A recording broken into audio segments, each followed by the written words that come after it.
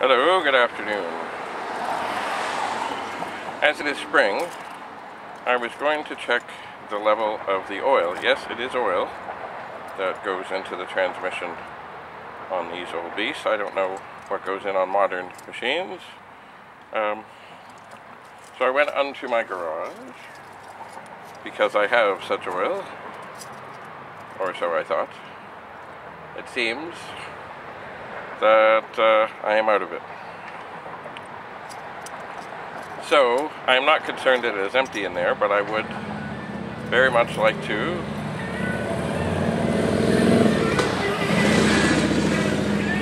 uh, make sure that there's certainly enough, if not more than enough in there.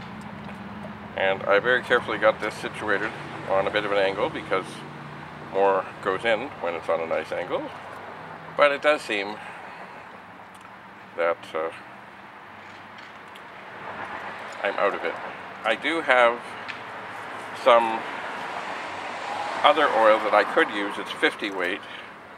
Um, but for years and years and years, I've used the 80, 80W90. Um, it's thick, mighty thick. And in the engine, uh, I used to use 60 weight, but I couldn't even get that recently at the Harley dealer. So I've been using 50. And um, at the moment, I can't even find that at Canadian Tire. So soon it's going to be time to change the oil, and I will have to find some mighty thick oil from somewhere. So I suppose right now, as it is a lovely, lovely day, I will...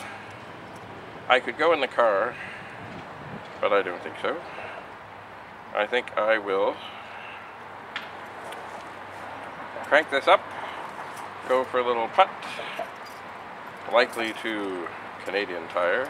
I could go, hmm, there's maybe other stores I could go to that are closer. Maybe I'll try a closer store first. Anyway, oh, I see we're drifting into the shadows there. So, uh, when I return, I will show you that it's a very scientific carefully tested method to get just the right amount of oil in there.